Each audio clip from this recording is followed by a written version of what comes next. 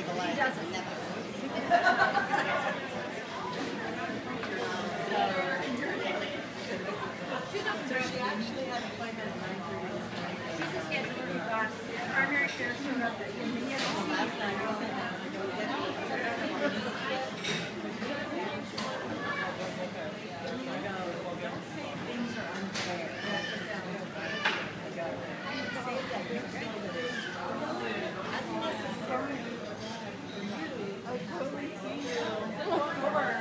That is fake. That is fake.